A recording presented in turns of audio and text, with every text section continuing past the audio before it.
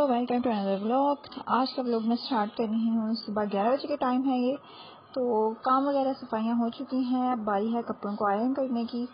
तो कपड़े जो हैं काफ़ी ज़्यादा जमा हो चुके थे आयरन करने वाले। जैसे कि मैंने आपको बताया, मैं अपने और बच्चों के कपड़े आयरन नहीं करती। बच्चों के चंद एक ज़रूरी जो हैं, वो आयरन कर लेती हूँ।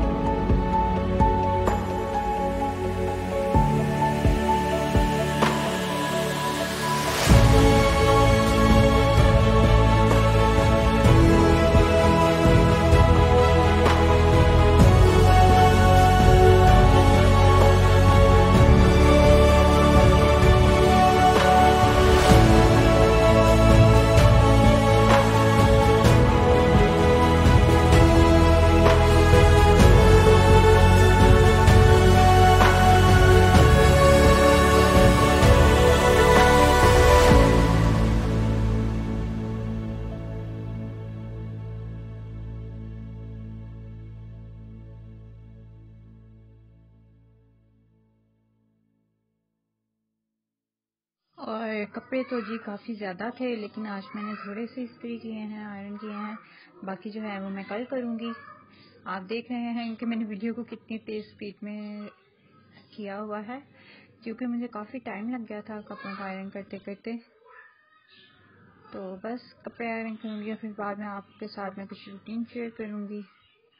आप लोग भी बताइएगा, आप लोगों के घर में किस तरह का हिसाब किताब है, यानी आप कपड़े एक साथ इकट्ठे करके इससे लटका देते हैं, या फिर डेली बेसिस पे जब पहने होते हैं तब करते हैं। तो मुझे ज़रूर बताइएगा कमेंट सेक्शन में। तो अगर आप लोगों को मेरी वीडियोस अच्छी लगती हों तो इस मेरे चैनल को सब्सक्राइब ज़रूर कीजिएगा।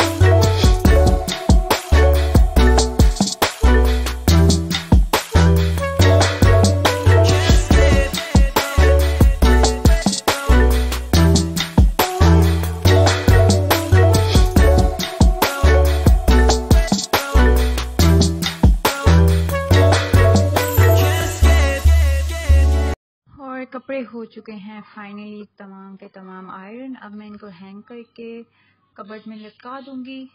तो मैं आपको दिखाती हूँ जी कबर्ड तकरीबन सारी की सारी सेट हो चुकी है। ये देख रहे हैं आप, मैंने तकरीबन सारे कपड़े आयरन कर दिए हैं। जो रह गए हैं, वो बकिया मैं कल करूँगी। बाकी कपबर्ड मैंने सेट कर दिया है। कोई भी चीज़ इधर उधर नहीं बिखरी हुई। और, ये आप देख लें। अच्छी तरह से। एक साथ में मैंने अपने भी दो सूप लटकाए हुए हैं और अब बारी है जी खाने की। तो दोपहर को मैं बना रही हूँ आज लोबिया। लोबिया वाइट बीन जो होते हैं, वो बना रही हूँ। तो खाने में ये बहुत यमी लगते हैं। मेरी बेटी को बहुत पसंद है। वो इन्हें कहती है छोटे छोटे चना दे दो, चना। उसको भी इनका नाम नहीं आता। और ये देखिए साथ साथ मैं अपने बेटे को होमवर्क करवा रही हूँ और हंडिया बना रही हूँ साथ साथ लेकिन वो कह रहा था कि जी, अम्मा मेरे पास बैठें मैंने कहा, बेटा, मैं अभी थोड़ी देर में आ रही हूँ और ये देखिए जी तमाम घर साफ़ सुथरा है। हमारा सफ़ाई सफ़ाई करने के बाद बैठे हैं और ओवन वो आप देख रहे हैं, इसको मैंने किचन से लाकर बाहर रख दिया है। क्योंकि किचन में कोई भी ऐसा स्विच करीब नहीं है कि जहाँ पर ओवन की जो है तार उसको मैं लगा सकूँ, क्योंकि इसकी तार बहुत छोटी है, इसलिए मैंने इसको यहीं रख लिया है। और टाइम तकरीबन हो चुका है बारह बज के कुछ मिनट का। और हंडिया में ये तैयार हो गई है। इसके बाद मैं रोटियाँ बनाऊँगी और फिर हम दोपहर का लंच इंजॉय करेंगे। और साथ साथ मैं आपको पूरे घर को दिखा दूँ। नीट एंड क्लीन घर हो चुका हुआ है। और एक लुक मैं आपको दिखाऊँगी लोबिए का।